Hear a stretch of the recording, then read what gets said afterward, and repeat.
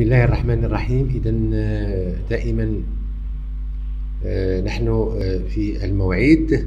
إذا تلاميذ وتلميذات المستوى الخامس ابتدائي مع حصة النشاط العلمي تبدد الضوء. إذا من خلال الحصة الأولى حصة الضوء الأبيض من خلال هذه الحصة سنتعرف على آه، تبدد الضوء أي كيف يتبدد الضوء كما رأينا. إذا من خلال أهداف التعلم إذا لماذا نتعلم هذا الدرس؟ إذا لنحقق الأهداف التالية. إذا بالنسبة للهدف الأول اكتشاف ألوان طيف الضوء الأبيض. إذا ما هي لكي نكتشف ما هي آه، آه، الألوان التي تخرج من أو تنعكس أو نستنتجها من الضوء الأبيض. ثم الهدف الثاني آه، هو التوصل إلى معرفة أسماء بعض الألوان. التوصل إلى معرفة أسماء بعض الألوان مثل الأخضر الأحمر الأزرق الأصفر إلى غير ذلك من الألوان. إذا من خلال هذا الدرس ومن خلال الأنشطة التمهيدية آه، سوف سؤالا مهما جدا في بداية الحصة وهو ما هي ألوان طيف الضوء الأبيض؟ إذا الضوء الأبيض ما هي الألوان التي يعطيها لنا؟ إذا من خلال هذه آه، آه، الصورة يتضح على أنها آه، يتضح على أنها تشمل طيف الضوء الأبيض أي الألوان التي يمكن أن نستخرجها من الضوء الأبيض أو الذي يعطينا إياها الضوء الأبيض من خلال طيفه. إذا من هذه الألوان فهي تبدو من اليمين إلى اليسار. طبعا لدينا آه، الأحمر لدينا البرتقالي وهو القريب من الأحمر. لدينا الأصفر وهو القريب من البرتقالي. الأخضر الذي يقترب من الأصفر. ثم النيلي وهو لون أزرق فاتح. ثم اللون الأزرق ثم اللون البنفسجي. إذا كل هذه فهي ما نسميها بألوان طيف الضوء الأبيض وسنتعرف آه، على هذه النتائج من خلال آه، هذا الدرس. إذا ننتبه جيدا. إذا من خلال أنشطة الاستثمار سوف نقرأ أولا آه، ما يسمى ب فيديو قصير سوف يعطينا فكرة عن تبدد الضوء. إذا هذا الفيديو إذا سوف نلاحظه أولا. لاحظوا الآن فإنني أحمل القرص بيدي آه، ثم هذا القرص عندما أسلط عليه أشعة آه، أشعة المصباح مثلا نلاحظ على أنه لاحظوا الألوان الموجودة على الحائط وهي ألوان آه، مختلفة هي ألوان طيف الضوء الأبيض وهذه الألوان هي انعكاس للضوء الأبيض على القرص المدور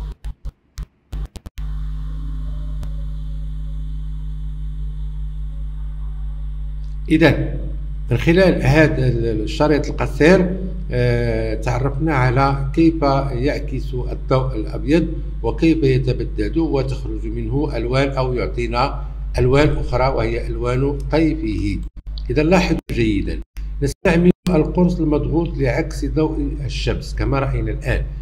هنا استعملنا ضوء المصباح وليس ضوء الشمس. إذا عندما نستعمل آه، الضوء آه، هذا القرص المدمج أو القرص المدمج مع المصباح ماذا نلاحظ على الحائط. إذا على الحائط طبعا كما رأينا في الشريط فإننا نلاحظ بقعة ضوئية ملونة. ثم كتساؤل ثاني فهو ما هي الألوان التي تظهر على البقعة الضوئية الملونة؟ أي ما هي هذه الألوان؟ أو ما آه، آه، كم عددها إلى غير ذلك؟ إذا من خلال هذه الصورة التي رأيناها في هذا الشريط يمكن أن نكتشف الألوان التالية. إذا عندنا أولا الأحمر ثم الأخضر الأزرق البرتقالي الأصفر النيلي والبنفسجي. إذا كل هذه الألوان وهي عددها هي سبعة هي التي تظهر لنا كما رأينا في الدرس السابق في ألوان قوس قزح.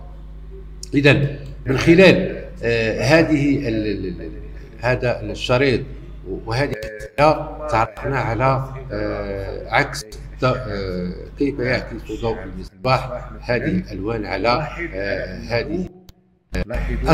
إذا لاحظوا جيدا الآن. لدينا هنا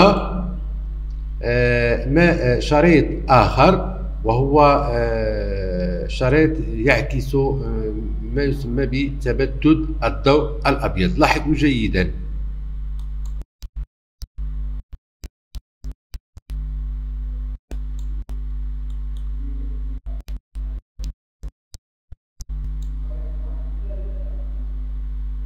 إذا نلاحظ لاحظوا استعمال الموشور. لاحظوا كيف تنعكس هذه الأضواء بفعل المصباح.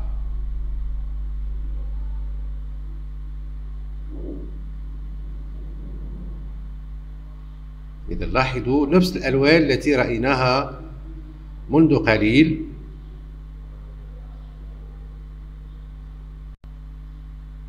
نعم. إذا فهي نفس الألوان التي الآن. إذا ما هي الأضواء التي تنبثق من الموشور؟ إذا هذا الموشور الذي رأيناه الآن ما هي الألوان التي آه تنبثق منه؟ طبعا عندنا هذه الألوان هي ألوان طيف الضوء الأبيض. إذا مثل ما رأينا سابقا. إذا هي نفس الألوان السبعة التي رأيناها آه في السابق. ثم ماذا تكون هذه الألوان؟ إذا هذه الألوان ماذا تكون؟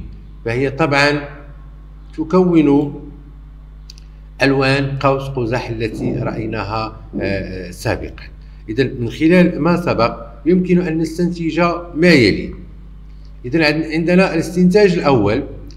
يتبدد الضوء الأبيض فيعطي طيفا مكونا من أضواء ملونة. أي أن هذا الضوء الأبيض الذي رأيناه من خلال الدرس الأول فإنه يتبدد ويعطي طيفا مكونا من أضواء ملونة هي التي رأيناها في قوس قزح ورأيناها كذلك في الشريط الأخير الذي استعملنا فيه الموشور ثم بالنسبة للاستنتاج الثاني فالألوان الرئيسية لطيف الضوء الأبيض وهي بالترتيب. إذا عندما نقول آه الألوان الرئيسية لطيف الضوء الأبيض فهي بالترتيب أي دائما نبدأ من اليمين إلى اليسار أو من آه من هذا اللون الذي هو اللون الأحمر. إذا عندنا أولا اللون الأحمر كما نرى على الصورة.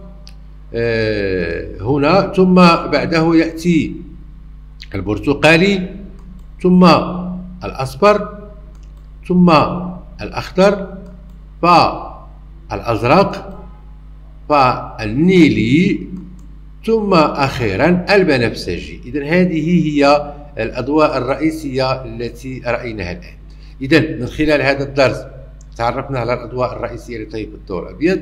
آه، آه، إلى آه، ثم أشكركم على حسن انتباهكم وإلى اللقاء في حصة أخرى إن شاء الله ورمضان مبارك كريم.